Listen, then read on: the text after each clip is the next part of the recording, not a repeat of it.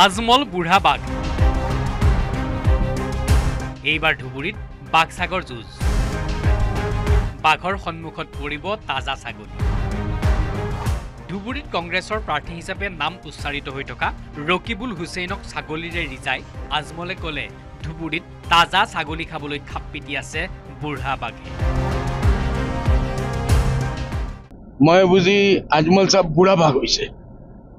বুঢ়া ভাগ বহুত ডেঞ্জাৰাছ মানুহ হয় হা জংঘলৰ ভিতৰত বহি থাকে। ৰকিবুল হুছেইনৰ নিচিনা?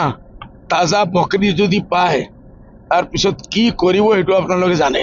চিৰ ফাৰ কৰি খাই তাই হাড্ডি উড্ডি পৰ্যন্ত খাই শেষ কৰি দিব। আজমলক কোনোবাই চালানী মাছৰ সৈতে ৰিজু আৰু প্ৰত্যুত্তৰ দিলে বদৰুদ্দিন আজমলে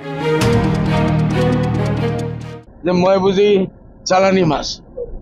ৰকিবুল হুছেইনটো এক দিনৰ কাৰণে দৌ- দৌৰি তাই নাথাকে কেতিয়াবা মিটিঙত আহি এক ৰাত থাকে বাগি যায়। মইতো বিশ বছৰ পৰি ইয়াত আছো। এতিয়া কোন চালানি মাছ হ'ল?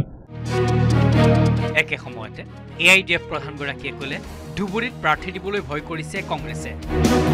আমরা দেখতেছি আপনারা দেখেন যে কংগ্রেসের হাইকমান্ড পর্যন্ত ভয় করতেছে। অন্য দলেও করছে বলে কংগ্রেসে সাহস পাইতেছে না। কোন জায়গাত কারে দিব এয়া আছিল ৰকিবুল হুছেইনক বদৰুদ্দিন আজমলৰ পোনপটীয়া আক্ৰমণ। ইমানতে ক্ষান্ত থকা নাই এ আই ডি এফৰ প্ৰধান বদৰুদ্দিন আজমল আজমলে কংগ্ৰেছৰ বিৰুদ্ধে চলালে কূটনৈতিক যুদ্ধ। কংগ্ৰেছ নেতা কৰ্মীৰ মাজত বিভেদৰ বীজ সিঁচি আজমলে ক'লে কংগ্ৰেছ নেতা কৰ্মীয়ে আজমললৈ ফোন কৰি কৰা অনুৰোধৰ কথা। মই মাধ্যমেৰ মাধ্যমে একটা কথা মই কৈ দিওঁ চাওক আমাৰ কোনো লিডাৰে আপোনালোকে কংগ্ৰেছৰ বিৰুদ্ধে ডাইৰেক্ট মাতিব নালাগে। কংগ্ৰেছী হাজাৰ হাজাৰ ভাই শ শ ভাইয়ে মোক ফোন কৰি আছে। বোলে হুজুৰ আপোনাৰ মানুহবিলাকক না কৰি দিয়ক। কংগ্ৰেছক গালি নাপাৰাৰ কাৰণে। এনে ভিতৰে ভিতৰে এইবাৰ হাজাৰ হাজাৰ ভোট আপুনি পাব।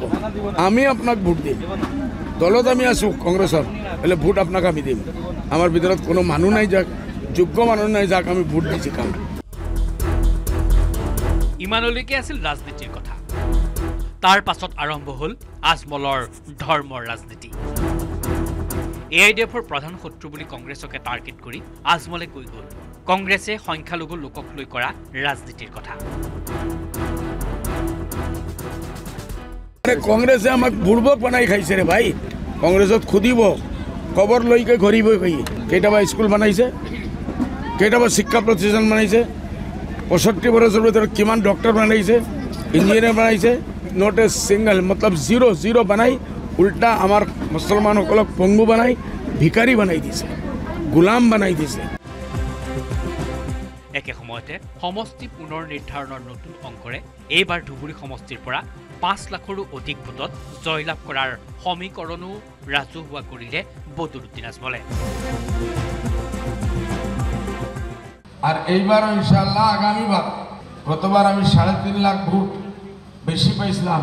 কমসে কম পাঁচ লাখ ভোট আমরা পাইব আর পুরানা ধুবড়ির যে ভোট আছে, সাড়ে তিন লাখের অ্যাডভান্স যেটা আমরা আসলাম, কমসে কম সাড়ে আট, নয় লাখ অ্যাডভান্স ভোটে জিতবো ইনশাল্লাহ আপনাৰা দোয়া ধুবুৰীৰ পৰা Jyotirmoy Chakraborty News eighteen Assam North East